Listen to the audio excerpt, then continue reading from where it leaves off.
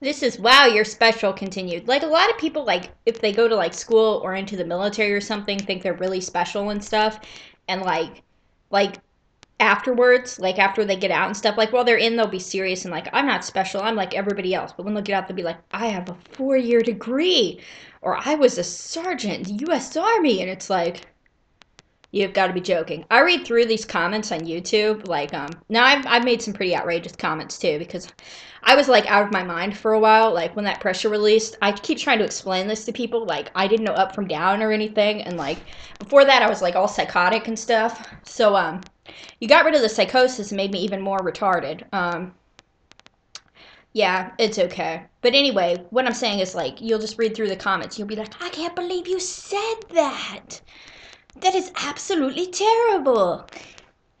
Like, wow. Especially about the VA and stuff. Um, I'm like, if you were still in, you would not be saying that. Um, that's okay. But, uh, yeah. So, blah, blah, blah, blah, blah. Blah, blah, blah, blah, blah, blah, blah.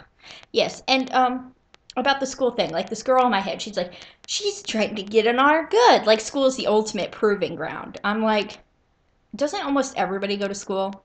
I mean, we, we at least went to kindergarten through 12th grade, most of us. And then after that, most of us even attempted college. Some of us didn't make it all the way through, but most of us have at least gone a year to college. I mean, statistically, if you looked at the population, I'm sure you would see most have gone to a year, a year or two years before either, you know, getting swamped with life or having psychotronic people in their head. Um, yes, you're real special because you went to school. I mean, that doesn't really mean anything. You're real special because you were in the army. That really doesn't mean anything. It doesn't mean you're not special, though. Like, there's a lot of people that target the military people that are like, you can't have resources. Like, Governor Christie and stuff would be all over the VA. Like, I know. And stuff. He's just like, wow.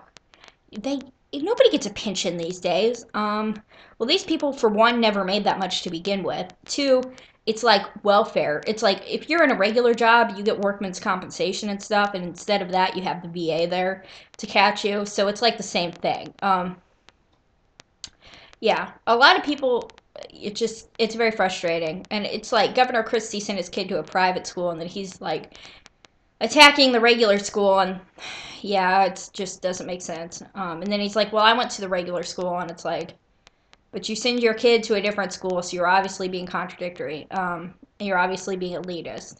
I do like Governor Christie a lot, but I'm just saying, like, there's just some things that I don't agree with him on. Like, I watch all these politicians and stuff, and I pick out the ones I like and the ones I don't like, and they're like, don't get involved in politics. I'm like, I'll say whatever I want to.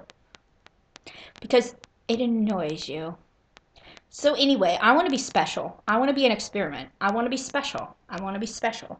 I've always been special, but I want to be really special.